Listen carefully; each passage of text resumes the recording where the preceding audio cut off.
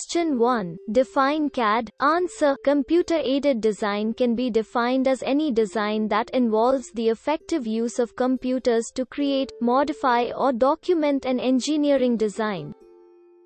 Question 2. What is CAD system? Answer. The CAD system consists of two basic components. They are computer hardware. It consists of graphic workstations, graphic input devices like keyboard, mouse etc., graphic output devices like printer and plotters. Computer software. It consists of operating system for basic operations, software package used for geometric modeling, application software for design, analysis analysis and synthesis.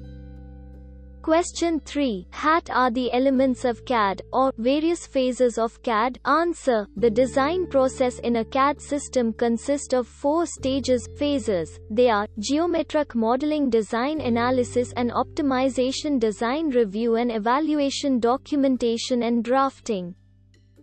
Question 4. What is drawing entities? Answer. A drawing is created using a know of entities. A large know of options are provided to draw the entities depending upon the requirements. Common entities are point, line, arc, ellipse circle, polygon, spline, rectangle, etc.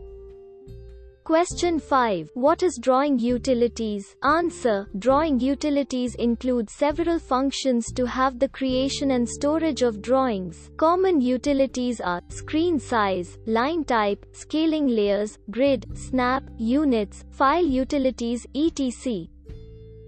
Question 6. What are the editing commands in CAD? Answer. It is necessary to make the corrections and alterations to the entities of a drawing. Editing commands are used for this process. A few editing commands are listed below. Erase, move, array, fillet, chamfer mirror rotate, trim, copy scale, etc. Question 7. What is geometric modeling? Answer. Geometric modeling involves the use of a CAD system to develop a mathematical description of the geometry of an object. The mathematical description, called a geometric model is contained in computer memory. These operations include creating new geometric models from basic building blocks available in the system.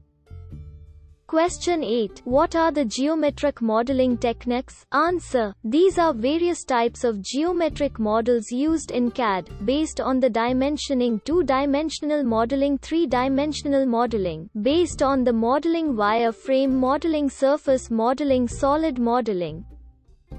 Question 9. What is 2D vs 3D? Answer. 2D models are best utilized for design problems, such as flat objects and layouts of building. 3D models are capable of modeling an object in three-dimensional according to user instructions. This is helpful in conceptualizing the object since in true 3D models can be displayed in various views and form different angles.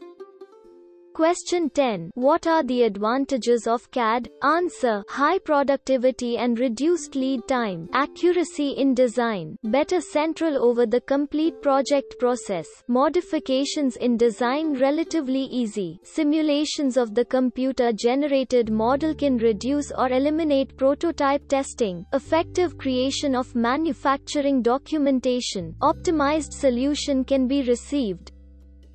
Question 11. What are the various 2D transformations? Answer. In computer graphics drawing are created by serious primitives who are represented by the coordinates of their endpoints. Certain changes in these drawings can be made by performing some mathematical operations on these coordinates. The basic transformations are scaling, rotation, translation, etc.